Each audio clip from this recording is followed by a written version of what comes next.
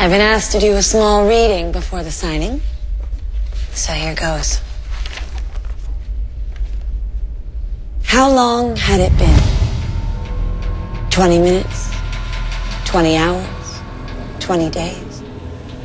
In a windowless room without a clock, time felt like a luxury I couldn't afford.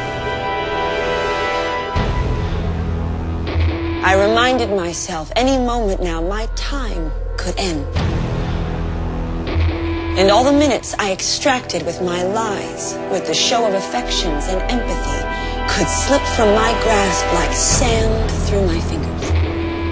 Click, click, click. The fluorescent lights flickered on.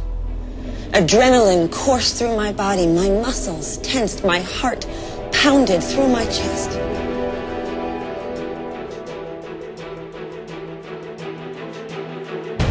His appearance was always unexpected. I came to believe he was always watching me, waiting to catch me off guard, but this time there was more than one coming down the basement steps. Missing something, Miss Winters? I see you for exactly who you are.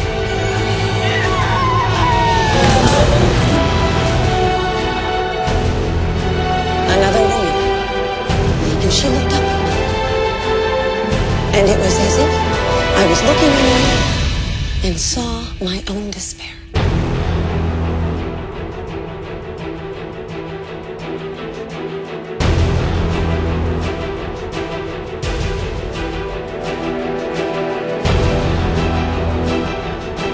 I did everything I could think of to survive. And then I did what I had to do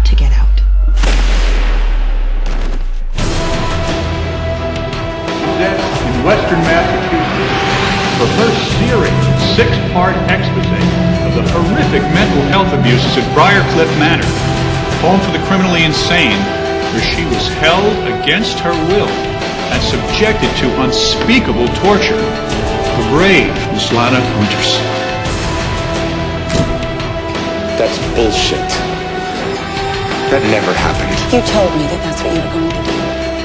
Tortured me with the idea that somehow I would be responsible for another victim. I suggested it. I never did it. Because I escaped before you could. It's still a lie, Lana. You put it in your book just so you could sell more copies. You sold out. I'm a writer.